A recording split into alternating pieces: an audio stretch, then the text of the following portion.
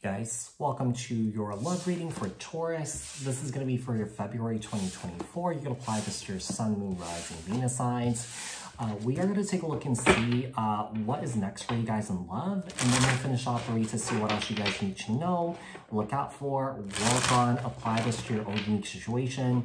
Um, you may switch to roles if you want. Keep in mind that these are general messages. Take what resonates and leave the rest behind. If this message didn't resonate with you, you may take a look at your other placements. Keep in mind that these are collective messages for the collective um, for the collective uh, Taurus people, not tapping into one specific person's energies in particular. If you're looking for a reading that's tailored specifically to your unique situations and energies, I suggest you to uh, book a personal reading with me. The link for that is in the description box below. Like, share, comment, subscribe, hit the notification bell so that you guys get notified on when my new videos post and when I go live. Also, if you guys are interested in following me on TikTok, Instagram, my other YouTube channel that's dedicated solely to my travels, the links to those are in the description box below. Um, support me on there too, okay? So tell me about, um, tell me about, uh, tell me about um, Taurus here. What's next for Taurus and love? What's next for Taurus and love for February 2024? Sun, Moon, Rising, Venus signs for Taurus. So um, this could be with new love, uh, current love, or an ex. So just apply this to your own unique situation, like I said. All right, let's have the Five of Swords and the Five of Cups. Okay. Um, I mean, there's definitely some sort of change. There's definitely some sort of conflict regarding um, the situation that you're in with somebody here right now. Okay. Yeah. Um, I, I feel like it has, it comes down to loyalty, basically, I feel. With the Queen of Pentacles here, Capricorn, Taurus, Virgo, and the Emperor here, Aries energy. I feel like someone here really adores somebody. But there's something here with loyalty that's not aligning between you and your person here. Yeah. Uh, because I feel like this person has a wandering eye. Someone that you're dealing with here has a wandering eye with the Hierophant here, Taurus energy, and the Seven of Cups here. I mean, these are other options here. I mean, it, it could be indication that you are the person that they ever dreamed of here, you know, but, you know, it could also be indication that, you know, this person lacks loyalty because this person has a wandering eye, that this person could be really, really, really, really flirty here. And, you know, maybe there could be some jealousy that's coming up here or that your person, you feel like your person's disappointing you because they are doing that. You know what I mean?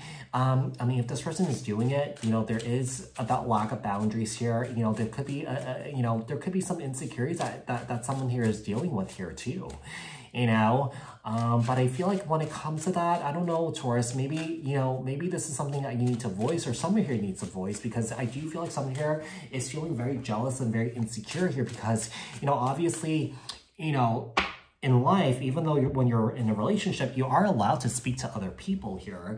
You know, a lot of times when you speak to other people, you know, you know, nine times out of ten, nothing might happen you know, I feel like nothing happens. I feel like it just is, is, is it's, it's in someone's head, you know? Uh, but I do feel like, you know, it's important to express, someone here, yeah, it's important for someone here to express their concerns here. The uh, Three of Wands here, and the Five of Swords, the Five of Cups here, and the Lovers here. Okay, yeah. The disappointment here is that there could be, like, this could also be a long-distance relationship here. And I feel like maybe you guys are fighting a lot or arguing a lot because, you know, uh, right now there's no chance that you guys will be moving together, it's closer together here. And I feel like maybe there are, are some sort of concerns. Yeah, someone here could be exploring other options here. But if someone here is exploring other options, you know, I do feel like someone here needs to be kept into a loop here. You know what I mean? So any information that's being given out here, you know, someone or both you guys could use that information to make some sort of decision here. Uh, because I feel like it's almost like I feel like someone here is starting to feel very, very, very uncomfortable here. The Knight of Swords here, Libra, Aquarius, Gemini, and the Page of Pentacles here, Capricorn, Taurus, Virgo. Libra, Aquarius, Gemini here with the Knight of Swords. Tell me the Hierophant here. Why is the Hierophant here? The Three of Cups. I do feel like the distance is an issue here because I feel like there's a lack of physical connection here. And I feel like someone here is just looking for physical connection. Could be sexy time here. Yeah, sex, seven of cups here and the six of swords. Yeah, there's just a lack of coming together here. Yeah, this is starting to become an issue. And I feel like someone here is not willing to sacrifice or give up moving to be with somebody. Yeah, I do feel like there's going to be a difficult conversation that you guys are about to have here. Yeah, a very difficult conversation.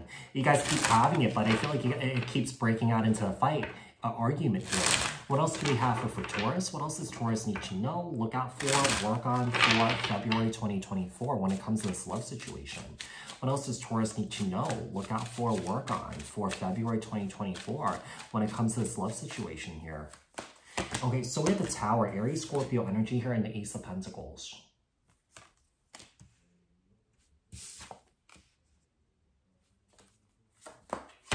We have the Ten of Pentacles here and the Seven of Swords. Okay, Ten of Pentacles, Seven of Swords.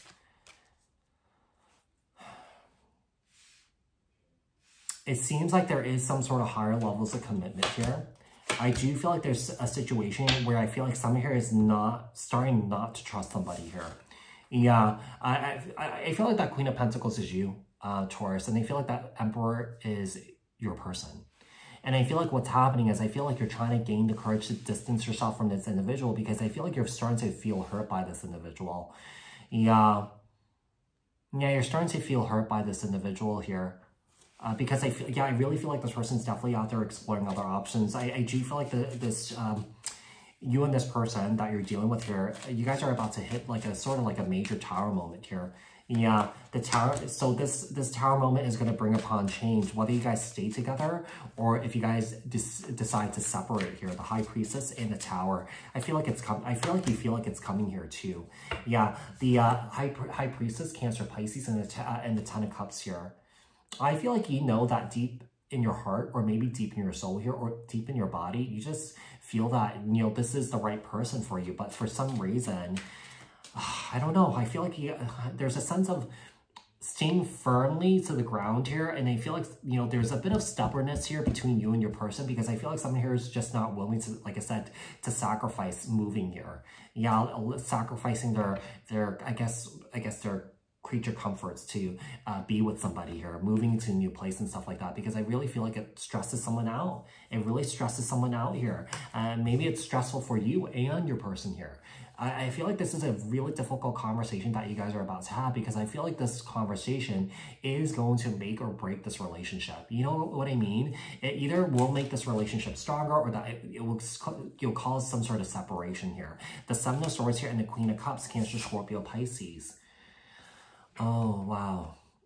There's somebody else in the picture here.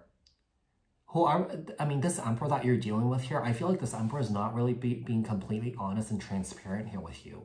I do feel like this emperor has met somebody here. I really do. I really feel like this is a long distance relationship. Um, a Queen of Cups here, Cancer, Scorpio, Pisces.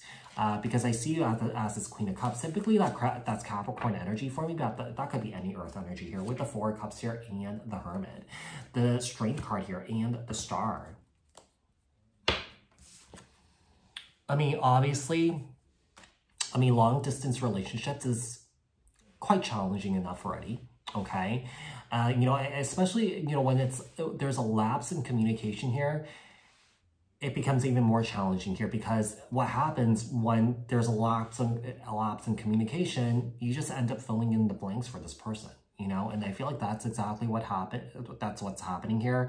And i feel like the fit blanks that you're filling in is your intuition letting you know that there's something wrong here okay? So i do feel like your intuition might have kicked in regarding what uh, you've been dealing with with this emperor here and I feel like your intuition's right. And I feel like you should trust your intuition here and base your decision on your intuition here, you know, and also confronting this person here too. But I feel like this person's definitely not going to tell you the truth here because the Seven of Swords is a representation of lies and deception here, okay? But I actually see you distinguish, distinguish yourself from this person and starting your healing process here, okay? I feel like this has been going on for a while, for the like last five or six months here.